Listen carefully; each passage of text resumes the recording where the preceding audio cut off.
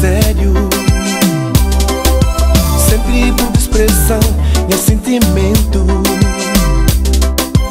Nunca vou deixar tocá-lo Sempre vou pedir um tempo Vou arranjar por alguém.